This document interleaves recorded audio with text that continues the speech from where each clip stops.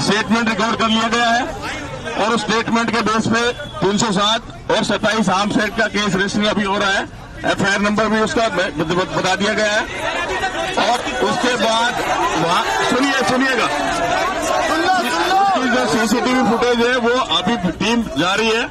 जो पाँच और सात नंबर गेट पे है, वहाँ यूनिवर्सिटी वहाँ से सीसीटीवी फुटेज भी लेंगे। और उसमें फर्दर भी जो भी डिटेल्स आएँगी, वो उसमें इंक्लूड करेंगे और सख्त से सख्त कार्रवाई उसके खिलाफ कर रहे हैं हम।